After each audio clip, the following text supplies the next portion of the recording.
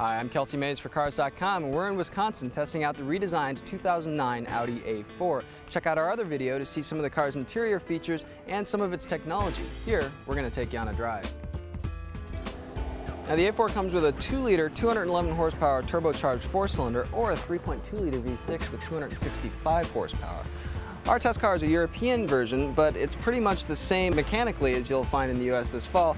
It's got the V6, it's got quattro all-wheel drive, and a six-speed automatic. The four-cylinder comes with an automatic or a manual, so if you like to shift your own gears, that's what you're going to be stuck with. The V6 has uh, enough power starting out. You don't get that real sense of immediate thrust that you do in a BMW 335 or an Infiniti G35. It doesn't have quite the low end torque. What it does have is a nice, smooth, progressive buildup of power um, you're doing fine by about 3,000 RPMs, and by 4,000 RPMs, the engine's really singing and sounding great.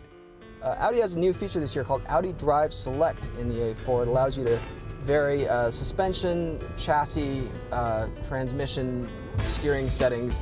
Uh, for a few different settings, you can go from comfort all the way over to dynamic. In comfort, the uh, A4 is a pretty comfortable car. You go over bumps and um, the suspension just kind of sorts them out fine. There's a little bit of body roll in the corners. Steering isn't quite as precise uh, otherwise.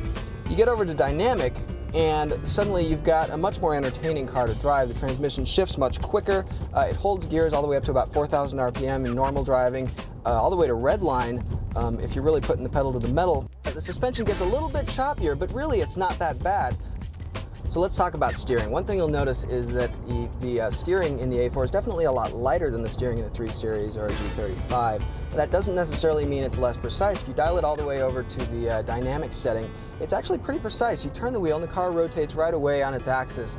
Um, one thing I'm not crazy about is uh, how the chassis sort of sorts out understeer and oversteer. The car does feel a little bit nose heavy, uh, more so than uh, the BMW or the Infiniti. Probably not as nose heavy as, as, say, an Acura TSX, but there will be a little bit more understeer as you're going into the corners. You won't find the car quite as neutral, quite as balanced as some of those competitors.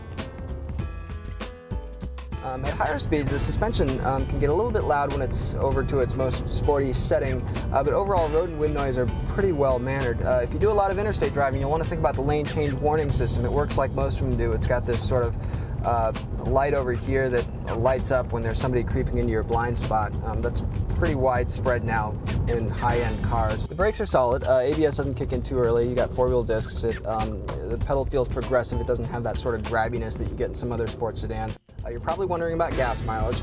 Uh, the V6 gets in the very low 20s. That's pretty typical of this segment. But with the four-cylinder, you can get all the way up to 30 miles per gallon highway. That's actually really good um, for this segment.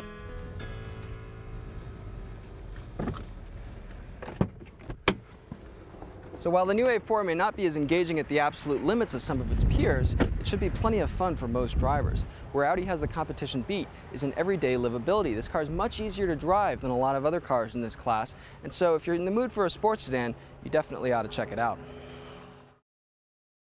For additional information on this car or any other, go to cars.com and our blog, Kicking Tires.